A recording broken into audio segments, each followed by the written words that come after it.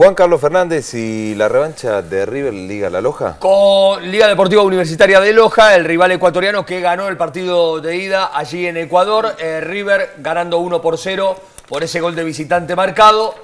Va a estar pasando de ronda y su rival va a ser Lanús en caso de superar justamente al equipo ecuatoriano, equipo confirmado por Ramón Díaz, eh, con Barovero, Mercado Pesela, Álvarez Balanta y Bangioni, Carbonero, Ledesma, Ariel Rojas, Lanzini, el enganche, dos delanteros los elegidos por Ramón Díaz, le renueva la confianza a Teófilo Gutiérrez, el colombiano, y Federico Andrada, que tanto pidió primera división, no con minutos, en cancha realmente productivos, efectivos, de los mejores delanteros que ha evidenciado este equipo de Ramón Díaz, junto con Gio Simeone, eh, y allí Andrada que va a tener la chance hoy eh, a la noche, muy temprano, 19.30 el horario. Recordamos que eh, tuvo algún inconveniente el estadio de River para ser aprobado debido al recital de Iron Maiden que va a ser el día viernes para saber si efectivamente iban a poder desalojar el escenario y demás. No hay ningún tipo de inconvenientes.